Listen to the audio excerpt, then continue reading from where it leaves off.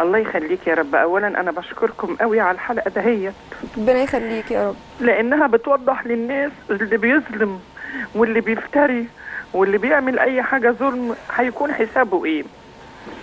إحنا عندنا بيت ورث. البيت ده هو إحنا فيه 12 نفر.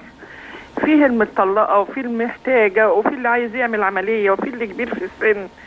إحنا 11 موافقين على البيع. رقم 12 مش راضية تبيع ولها نسبة صغيرة جدا. لها خمسة متر بس. عشان هي مرتاحة ماديا. نقول لها طب انت يرضيكي إيه؟ نديكي اللي انت عايزاه. خدي قولي على المبلغ اللي انت عايزاه. إحنا كلنا محتاجين. تقول أنا مش محتاجة. لما أبقى أموت تبقوا بيعوا. تبقوا تفهموا مع الورثة بتوعي. يا ست الله يبارك لك. إحنا كلنا محتاجين. تقول هو كده عند مش بيعه مم. ولما تبقوا تموتوا يا أنا أموت. أنا عايزة أعرف تحكمها فينا ده. هيوصل لإيه؟ هي هتشوف إيه؟ يوم قنطرة المظالم حسابها عند ربنا إيه؟ عشان أنا خايفة عليها في الدنيا. هي أخت حضرتك؟ لا مش أخت حضرتي هي بنت عمتي. حاضر حاضر. حاضر. تابعينا يا أم كريم؟ ما هو من قنطرة المظالم التعنت مع خلق الله. مم. شفت التعنت واصل لفين؟ أنا مش خليها بقى محتاج. تسمع يا أم كريم. أنا مش محتاج.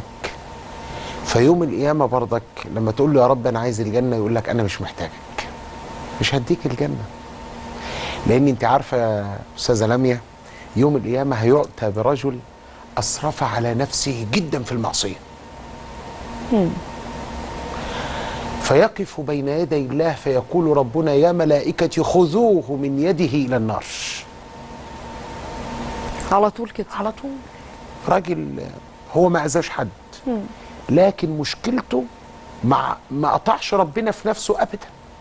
لم يؤذي خلق الله إنما مع نفسه ما قطعش فالعبد يمشي مع الملائكة وبعدين يقول له إيه؟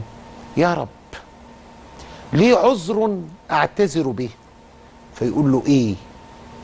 فيقول له يا رب تعلم أني كنت إنسانا ذا يسار أنا كنت إنسان غني وكنت تاجرا.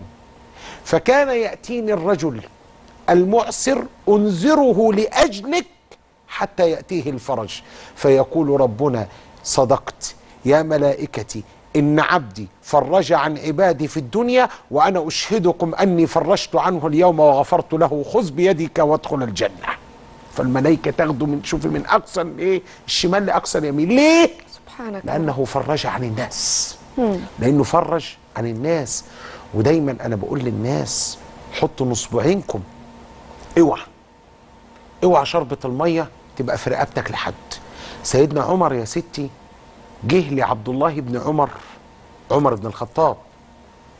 واحفظي عمر بن الخطاب قوي اللي هو إذا تحدثت عن العدل فعمر.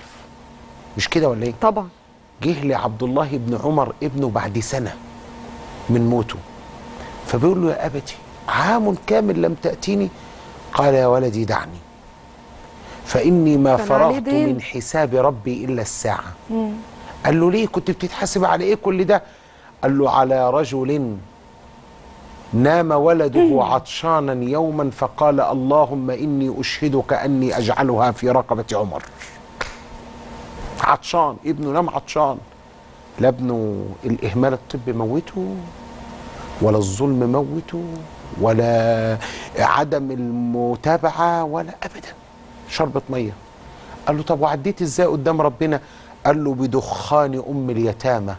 لما قعد طبخ لأم اليتامى والدخان دخل صدره ده عداه قدام ده قدام ربنا.